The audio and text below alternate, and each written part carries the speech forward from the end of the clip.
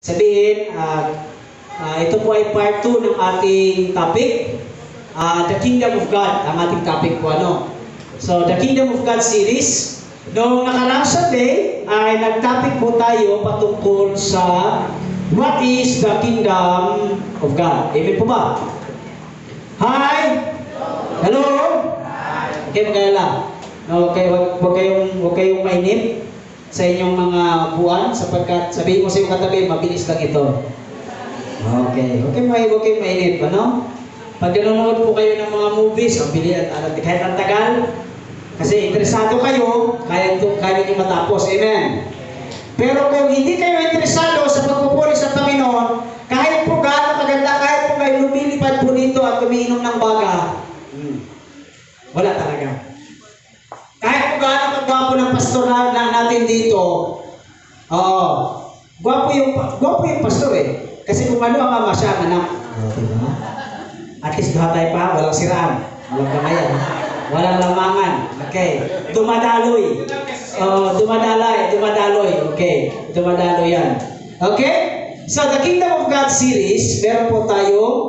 Please bear with me kasi ah ang ating pag-aaral ngayon ay palalim ng palalim. Okay, sabihin ko sa iyong, sa, sabihin ko sa iyong katabi, hindi ka na bata. Hmm. Yung aming baby, pihikan sa pagkain. Okay? Pihikan sa pagkain yung aming baby.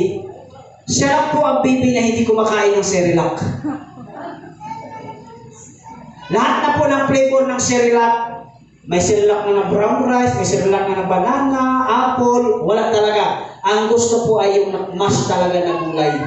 At saka mga ano, kaya sabi ko, taga-bundok talaga to. Kasi sa amin ng panahon na yon, nung bata pa kami, kapag tayo ay nakasirelax, social na yun eh. Mayaman na yun eh. Di ba naalala ko ng mga bata pa, nung sa probinsya kami, ano pinapakain? Kaya dito katabay yung anak ko, Sirla, oh, grabe naman, ang yaman yun. Samantala kasi sa amin, ah, alam mo yung pinakuluan na ano, sinasadyang paramihan ng, ng tubig yung yung bigas para yung sobra doon pagkulo, yun yung pinapakain sa amin. Kaya siguro ganito rin ang height namin. At hindi lang yan, batang-bata pa, hindi ko na, hindi ko makalimutan yung pinapaka, pinapainom na kami ng kape ni mama. Oh. Ah, hello, amen? Well, ganyan ang buhay eh. Ngayon, si Rela, pag mayaman, pero doon ko na pagtanto, eh, hindi, hindi rin. Hindi rin. Mas masustansya pa rin. Balik probinsya pa rin ang ta- tamang pagkain. Amen? Parang may na amen. Amen? Okay, bakit manapunta tayo sa Serena? Kasi ang ating topic ngayon ay hindi na pabata ng pabata. Matagal na kayo sa simbahan, matagal na kayo sa iglesia, ang lagi niyo pa rin narinig blessing.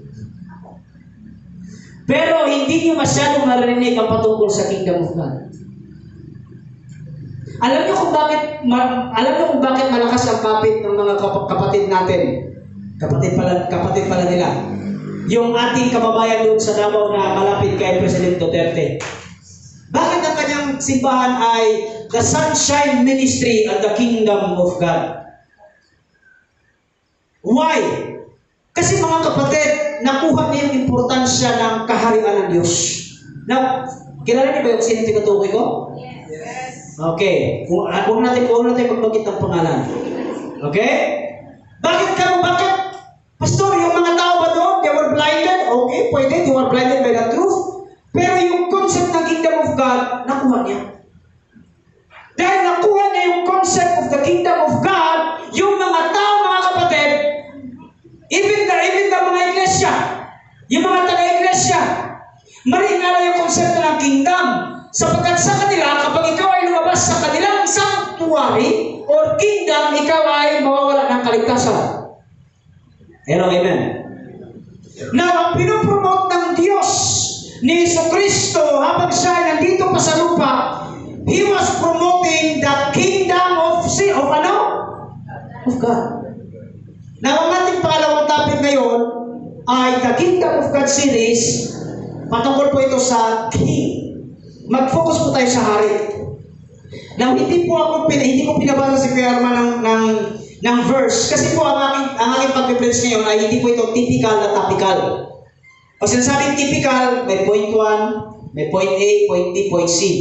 May, may, may, may, may tinatawag po natin pointers. Hindi yun. Okay? Now, makinig kayo sa akin. Hello, nasa ba tayo mga kapatid? Sabi mo sa iyong katabi, gising. Sa likod, sabihin mo, huwag ka matulog. Okay? Now, ang ating topic ay the king. Mas kilalanin, mas kilalanin natin ang hari sa kaharian. Kasi hindi mo matatawa ang isang kaharian kung walang hari.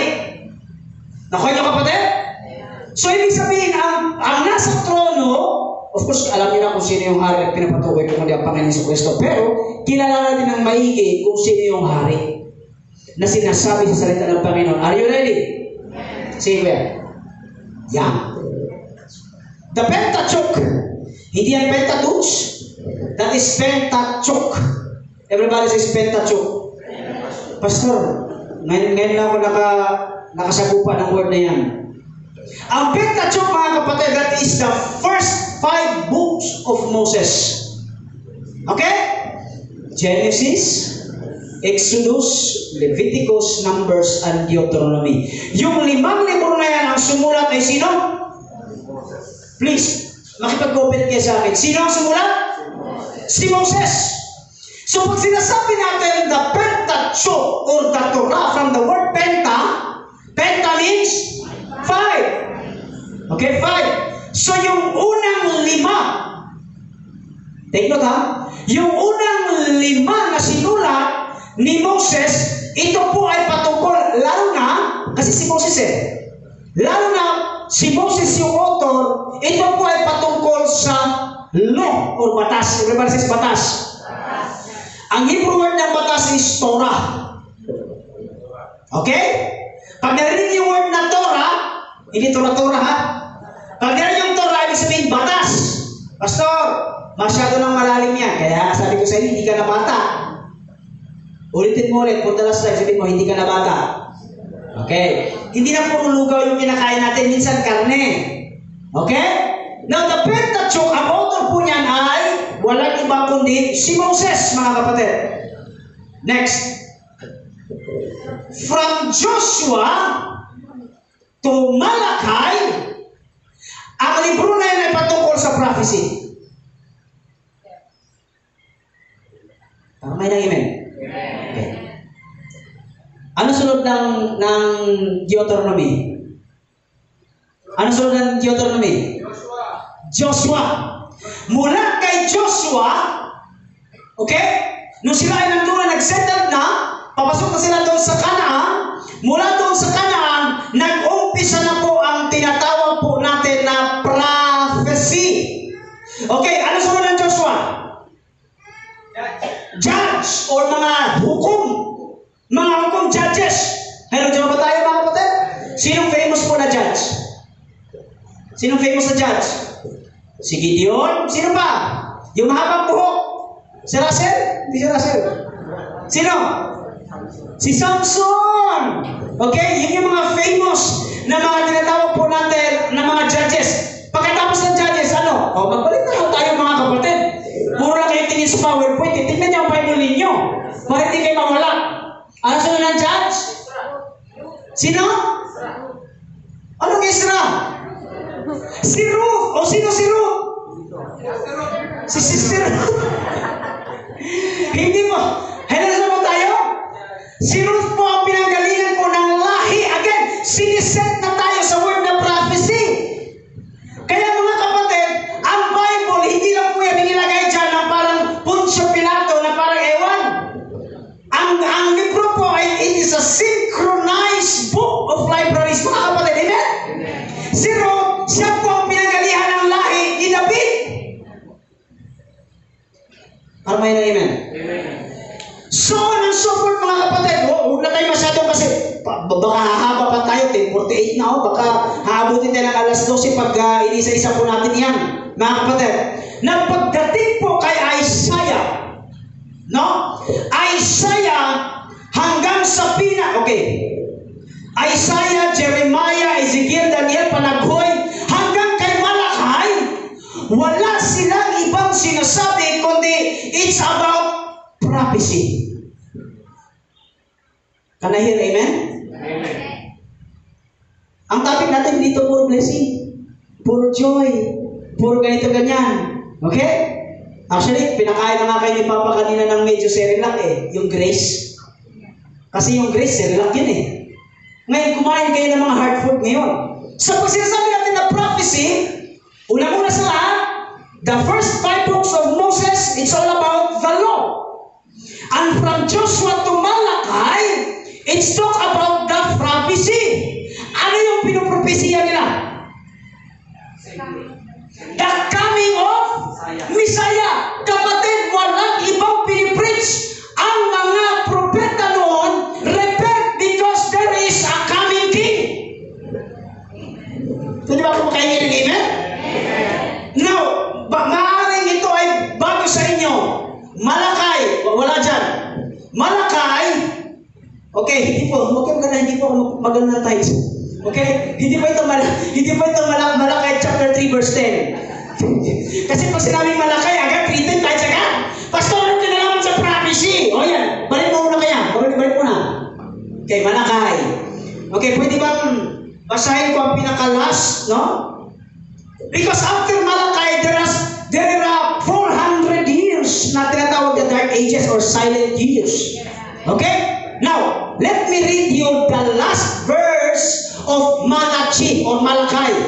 Makinig kayo ha? Malachi, ito yung pinakahuling propesya. Malachi chapter 4, verse 4. Tandaan ninyo ang itinuro ni Moises. Now, Malachi is referring to the law. Oh, Amen ba? Okay, interesting ito. Ang mga tuntunin at kautusan ibinigay ko sa kanya sa bundok ng Horeb para ganapin ang bansang Israel. Verse 5, ito ang pinakalas. Ngunit, bago dumating ang nakakahindik na araw ni Yahweh, isusubo ko sa inyo si Propeta Elias. Makinig kayo ha? Propeta Elias, muling magkakalapit loob ang mga anak, mga anak, kung hindi mapipilitan akong pumarihan at wasakin ang inyong bayan.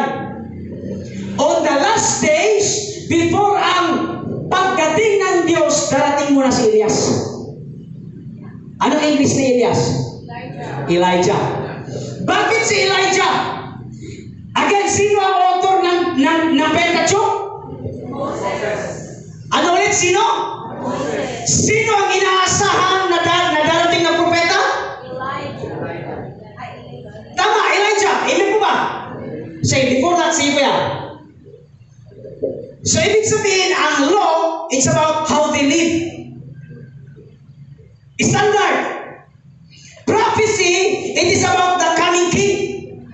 So, ibig sabihin, mula po Joshua hanggang Malakay, walang ibang piniprint sa propeta. Jeremias, Malakay, Ezra, Nehemiah, Ezekiel, Daniel. Walang iba silang piniprint, kundi mayroong darating na hari, mayroong darating na hari, mayroong darating na hari.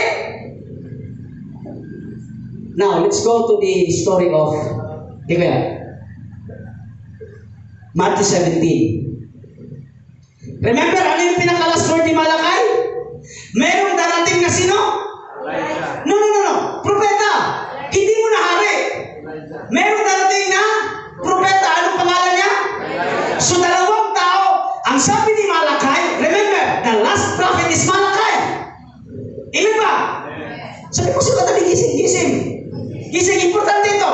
Wal, ang pinakalas na, na, na propeta ay si Malakay. Ang sabi niya ngayon, sabi ni Malakay, parang ganito ba? Huwag kalimutan si Moses. May darating na propeta na si Eli, na si Elijah. Nakuha niyo? Dalawang tao. Matthew chapter 7. Makinig kayo ha, New Testament na ito. Pagkaraan ng anim na araw, isinama ni Jesus si Pedro at magkapatid na Santiago at Juan. Peter, John at saka si James. Sila umakyat sa isang mataas na bundok. By the way, ang story nito is the transfiguration of Christ.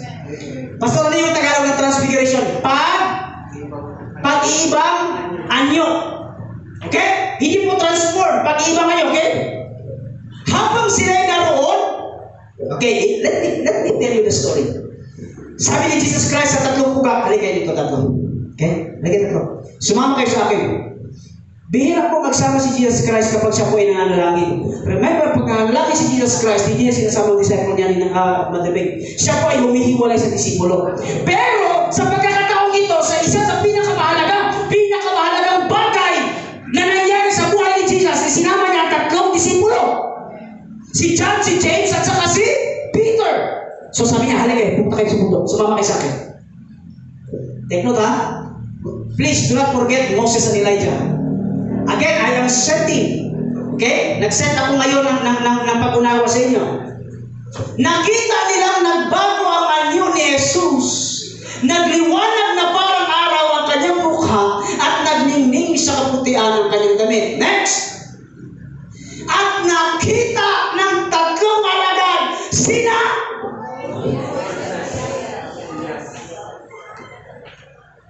Si, sino nakita? No. Nakikita niyo ang koneksyon. Ang sabi ni Malakay, huwag na huwag niyo kalimutan ang tuntunin o batas ni Moises. At meron, sa kanan, sa kanan naman, darating si Elias. At doon nga sa bundok, mga kapatid, doon na fulfill ang sinabi ni Malakay. Number one, sabi niya, at tatlong alagad sina Moises at Elias na nakikipag-usap kay Jesus. Sinabi ni Pedro kay Jesus, Panginoon, mabuti na rito kami. O, ah, kung gusto ninyo, magtayo ako ng tatlong tolda. Isa sa inyo, isa kay Moises, at isa kay Elias. Next kuya. Habang nagsasalita pa si Pedro, nililiman sila na napakaliwanag na ulam. Mula rito may tinig na nagsabi, ito ang minamahal kong anak na lubos kong kinalugdan, pakinggan ninyo siya. Nang marinig ng mga alagad ang tinig, labis sila natakot at nagpatira pa. Ngunit nilapitan sila ni Jesus, sinawakan, tumayo kayo, huwag kayong matakot, sinabi niya. Nang tumingin sila, si Jesus na lamang ang kanilang nakita. The story of transfiguration, mga kapatid, para sa akin, hindi yan, ang story po niya ay hindi yung, ang pinakatapit dyan, hindi po yung pagbabagong anyo ng Panginoong Iso Kristo. Sa transfiguration, mga kapatid, doon nangyari ang tinatawag na instead na transfiguration, ito po ay word na transferring. Ibig sabihin, mga kapatid ko sa Panginoon, yung sinasabi na batas ni Moses at propesya ni Elias, ipinasa na nila kanino? Kay Iso Kristo because Jesus Christ is the fulfillment of the law at ang katuparan ng propesya. Palapakan niyo nga. Siya ba yan? Ayan o. Ayan, ayan, ayan, ayan yung parang picture, pi- picture lang. Pero huwag yung, ano yan ha? O, Huwag yung sambahin yan. Hindi po yan si Jesus yung, hindi yan? Picture lang yan. Illustration lang yan. Parang ganyan po yung nangyari. Okay? Now, bakit si Moises? Si Moses, mga kapatid, siya yung ibinigyan ng Diyos ng batas. Amen? Nakuha niyo sa Mount Sinai? Bakit si Elijah? Si Elijah was a great prophet. Sa sobrang kabutihan ni Elijah, kinuha nga siya ng Diyos eh. So, ibig sabihin, mga kapatid ko sa Panginoon, itong nangyayari na transfiguration, ito na yung fulfillment o katuparan sa propesya ni Malakay. Amen ba?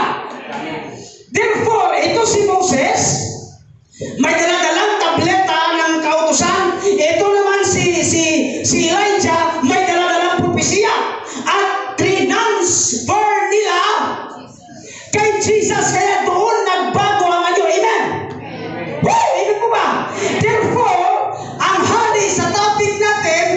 Ang sinasabi ng mga propeta na mayroong darating na hari, mayroong darating na hari, walang ibang pinapatungkulan, kundi sino? Nakuha niyo? Sige kuya. Moses was the reflection of the law. Elijah was the reflection of the prophecies. And Jesus is the fulfillment of it. Amen. So sinasabi ngayon mga kapatid, wah, huwag tinakalalahanin yung Old Testament. Hindi ko sinasabi huwag yung basahin. Ang sinasabi, mag, mag, kung mag, maghanap kayo ng reference, punta ka sa Old Testament. Pero lahat ng kasulatan sa Old Testament, mga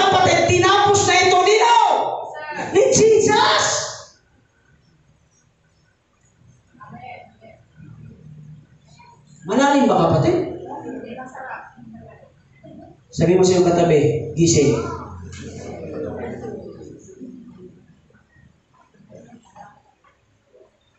Wow! Wow! So, ibig sabihin mga kapatid, ang lahat ng batas, kaya nga sinabi niya eh, "Pa- Lord, sabi ng mga sabi ng mga disipulo, Lord, ano pinaka ano pinakamahalagang batas? Sinabi ba ng Panginoong Hesus Kristo na ang, ang nasa isip nila, mga kapatid, is babasahin or i-recite ni Jesus yung Ten Commandments. Yun yung inaasahan nila. Tanong ko sa inyo, tanong ko sa inyo, dinisregard ba ni Jesus yun? Hindi. Minodify niya. Sinamarize niya, sabi niya, Love the Lord your God with all your heart, with all your soul, with all your mind, with all your strength. Love your neighbor as you love yourself. Eh, ibig ba? Ang gusto sabihin ng Diyos, mga kapatid, lahat ng batas, wala akong sinuway. Okay? Lahat ng propesiya, wala akong sinuway. Bakit? Ako ang katuparan ng batas at ako rin ang katuparan ng propesiya. Hi. Hello. Sinyapit. Now, ito. Tingnan niyo to. And Peter said to Jesus, Lord, it is good that we are here. If you wish, I will make three tents here. Nung nakita niya si Elijah, si Moses, at si Jesus, sabi niya, Lord, kamahal-mahal ito. Panginoon, kamahal-mahal ito. Lord, pwede ko po kayong lagyan ng isang tolda o sanctuary o altar. Tatlo, isa para kay Elijah, isa para kay kay Moses at saka isa para sa iyo, Lord. Mga kapatid, maraming ganyang churches ngayon. Maraming ganyang churches ngayon, mga kapatid. Na kapag nakita nila yung kahiwagaan ng Diyos, doon lang sila nagtayo. Gusto nilang magtayo lang. Hindi niyo ba napapansin, mga kapatid? Pag sinasabi natin na magtayo ako ng tent, Panginoon, ibig sabihin, hanggang dyan na lang sila.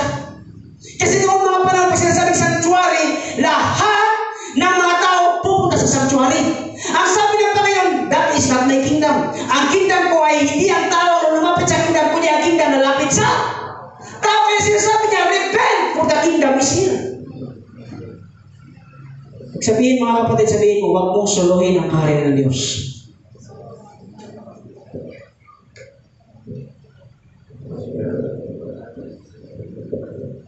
Maraming Pedro sa panahon natin ngayon. Pastor, magtayo tayo ng simbahan, Pastor. Kasi ang, ang, ang ganda ng simbahan, eh. magtayo tayo ito, Pastor. No, naka-aircon, ganito, ganyan. Pastor, dyan natin sa, sa kapatid. Sabi ng Panginoon, anong ginagawa niyo? Yan ba ang sinasabi ko sa inyo? Sabi ng Panginoon? Ang sinasabi, okay. Habang, habang nagsasalita si Pedro, take note, kahit si Jesus hindi nakapagsalita. Merong boses na nanggagaling sa langit. Sino nagsalita? Ang Ama. Ang sabi, ay, ay, ay, ay, Pedro, makinig ka. Makinig ka. This is my beloved son. Ito yung pinakamahal kong anak. Makinig ka sa kanya. So therefore, wala tayong ibang dapat intindihin at sundin kundi ang utos at pinagsasabi ng ating Panginoong Heso Kristo. Anong sinabi ng Panginoon sa atin? Go and make disciples. Ibig sabihin, huwag mong suluhin at Maraming Pedro na simbahan ang yayabang. So, sabihin, pag marami ang membro mo, ikaw na yung kingdom of God. Glory to God kung marami kayo. Glory to God kung naka-aircon kayo. Pero huwag kayong parang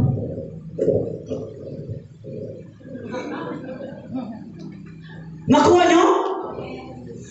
The, ang mensahe sabi, This is my beloved son, Pinakamamahal ko, makinig kayo sa Kanya. Anong sinabi ng Panginoon before siya mag-ascend? Go and make disciples. Go unto the world. Preach the gospel. Yung gospel na preach the kingdom of. Sabi mo sa katabi, huwag kang magsolo. Sige kuya, Sabi sa Isaiah 9 verse 6, For to us a child is born, to us a son is given. Ito yung, ito yung propesya. Ito yung propesya. Okay? And the government shall be upon his shoulder. And his name shall be called Basa.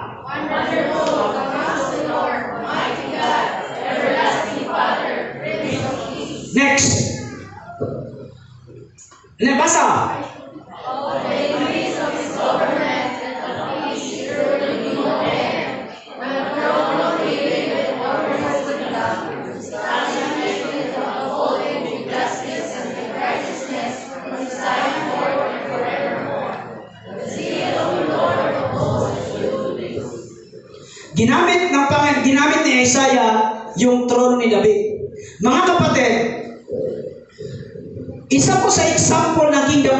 is yung pag-govern ni David. Na nakuha nyo? Yung setup ng kingdom of God is like the setup of the throne of David. Now, listen to this very carefully. Ang pagdating daw ni Jesus ay para daw sa buhay ni David. Now, let me go back to the story of Saul. Si Saul, takot na takot kay Goliath. Amen po ba? Si Goliath, mga kapatid, ay 40 days na or ma- ma- maraming, maraming araw kay Arman na sinasabi, sino ang matapang sa inyo? Lumaban sa akin.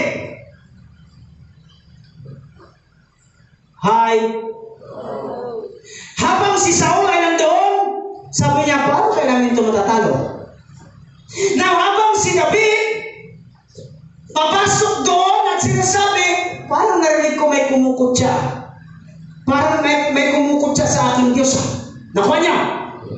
Batang bata si David, walang ibang gamit, kundi yung tirador niya at saka tungkod. Nakuha niya. Ito si Goliath, sinasabi, sino dito ang pinakamatapang?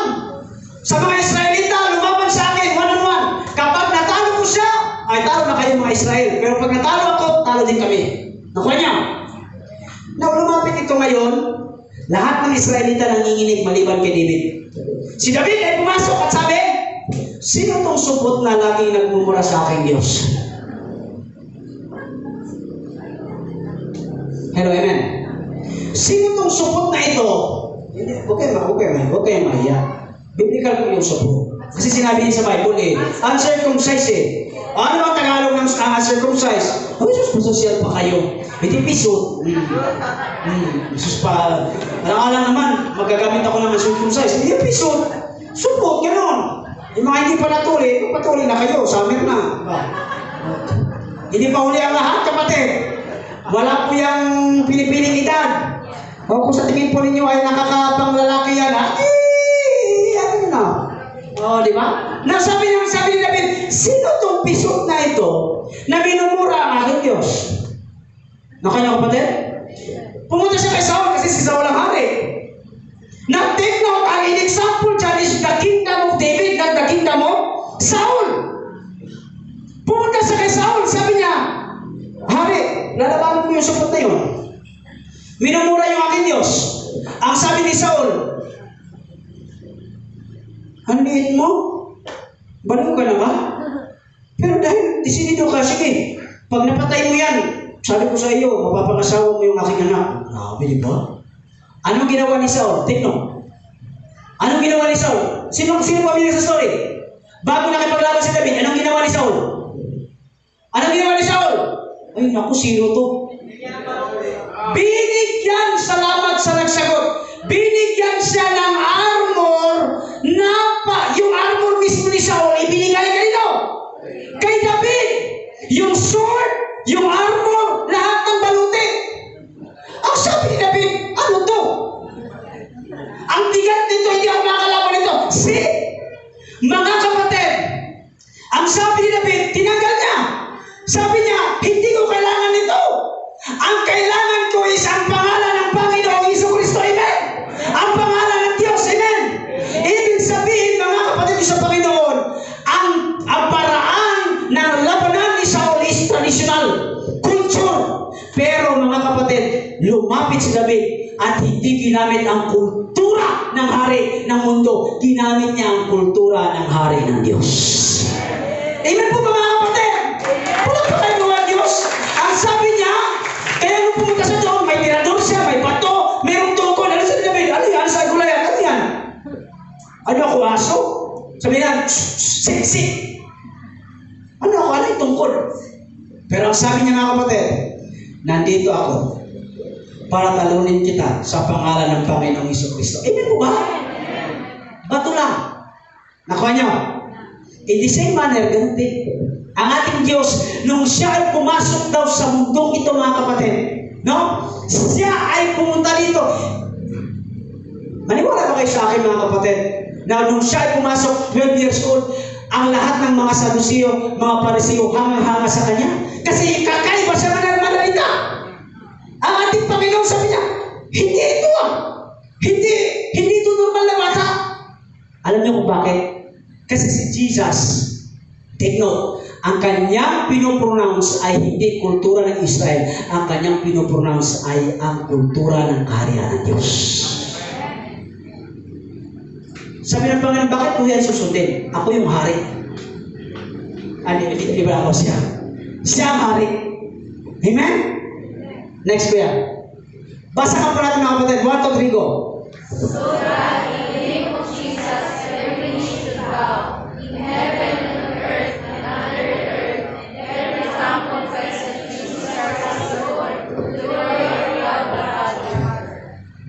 Sa kan- ang lahat daw ng tuhod ay luluhod. Saan? Heaven? Ano earth? And under? So, ibig sabihin mga kapatid, ang hari nating sinasamba, siya yung pinakamataas lahat. Pwede ba kainin ng amen?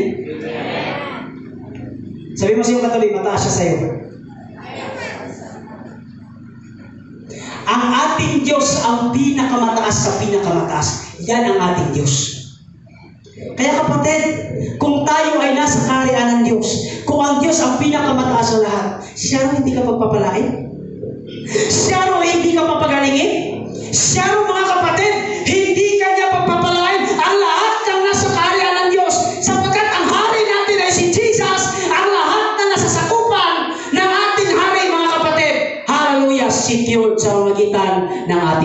Hesus Kristo.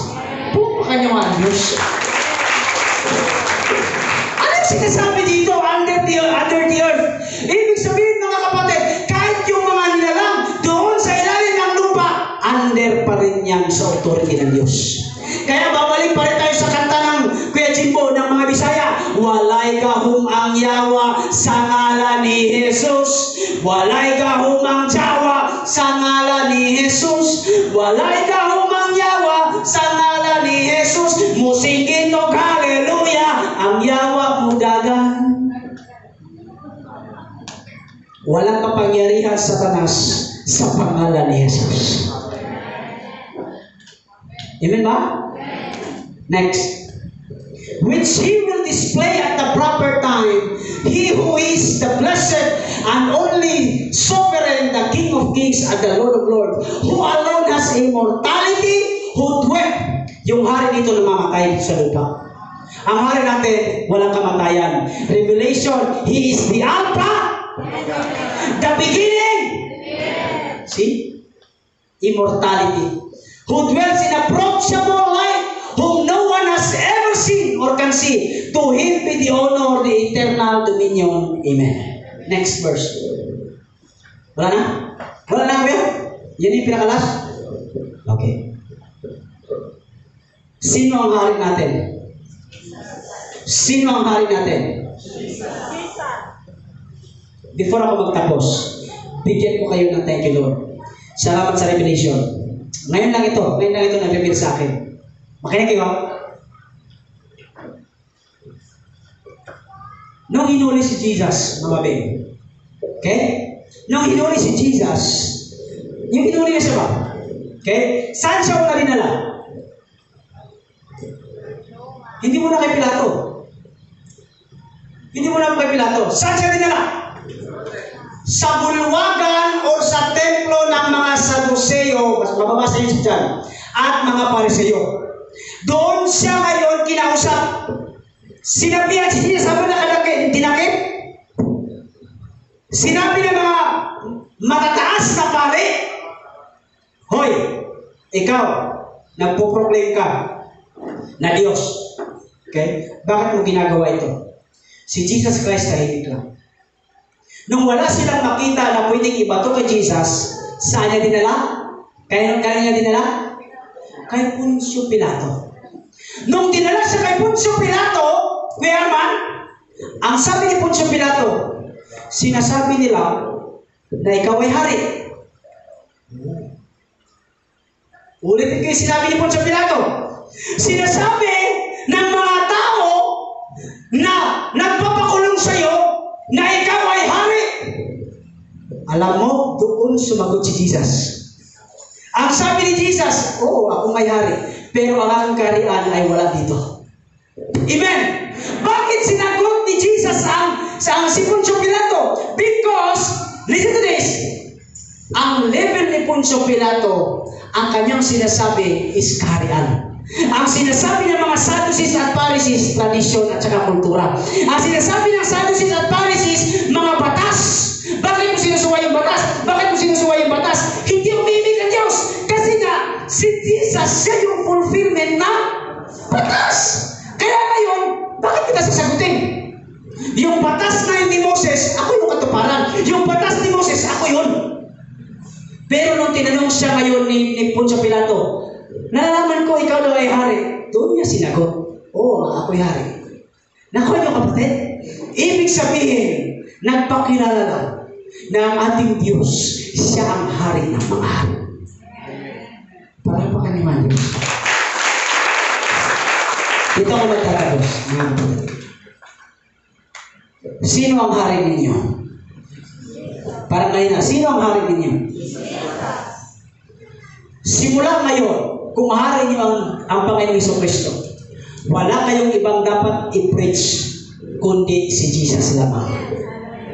Sapagkat mga kapatid ko sa Panginoon, kapag ang simbahan hindi na nagpe-preach ng Panginoong Iso Kristo, ang matatawag ko dyan, hindi siya nagpo-promote ng kaharian ng Diyos. Siya ay nagpo-promote sa kanyang sariling kaharian. Amen. We are promoting the name of Jesus Christ. At in fact, bakit kasama kita ngayon? Kasi kapatid tayo sa isa't isa at wala tayong ibang hari kundi ang ating Panginoon. Palapakan niyo ang Diyos. Dito ako magtatapos. Ang hari ba natin mayaman? Ay! Nakuha niyo yung concept. Nakuha niyo yung concept ko ng hari mga kapatid? Ulitin ko ha. Ang Diyos ba natin mayaman?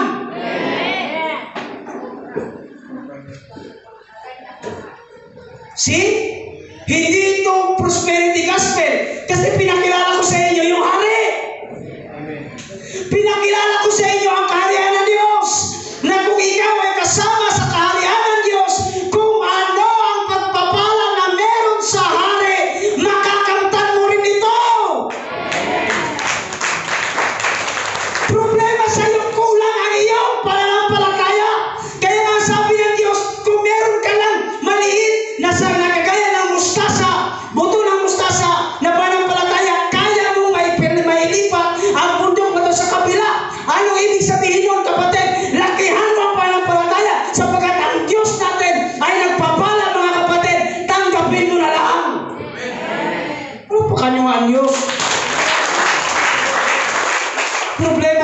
kasi tayo may doubt. Hindi, hindi, hindi, hindi talaga. Sis, pag dumating ngayong pagsubok, bakit ako ginaganito ni Lord?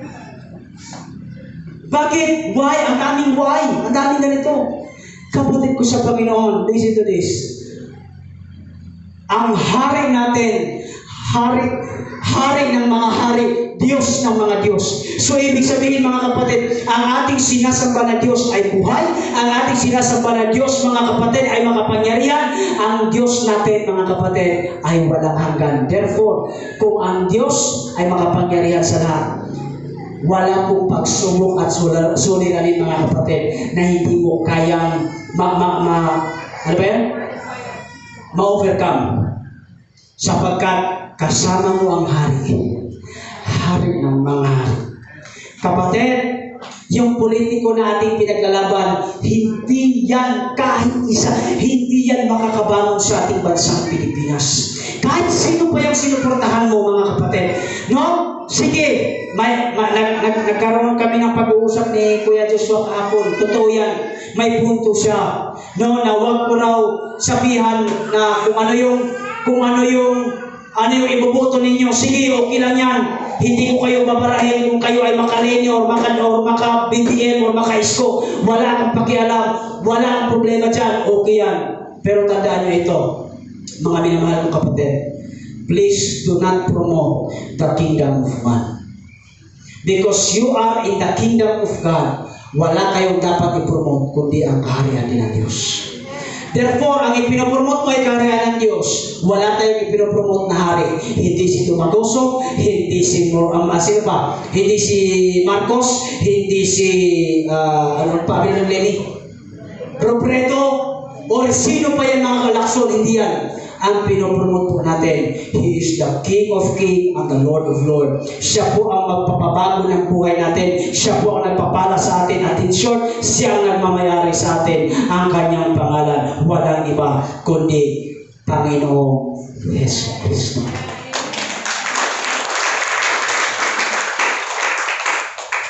Hindi ka pagmamayari ng anong kulay ng partido mo.